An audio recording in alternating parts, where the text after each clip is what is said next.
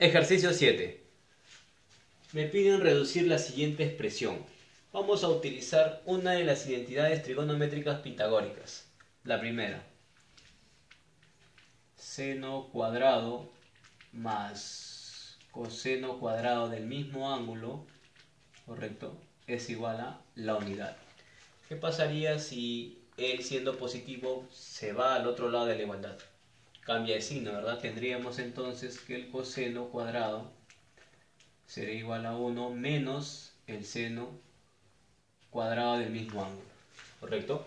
Y por aquí aparece, mira, 1 menos seno cuadrado de x, ¿a qué vendría a ser igual? Al coseno cuadrado del mismo ángulo, ¿no? En este caso de x.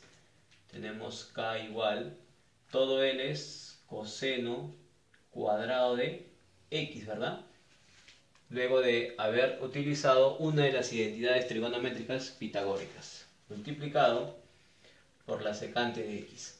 Pero como él está en el numerador, puede saltar al denominador de manera práctica como coseno de x. ¿Por qué razón? Porque uno es el inverso del otro, ¿verdad? Muy bien, tenemos k, que es igual que me indica este exponente 2 que el coseno de x se multiplica dos veces, lo vamos a expresar así entonces, coseno de x por coseno de x, multiplicado por 1 sobre coseno de x.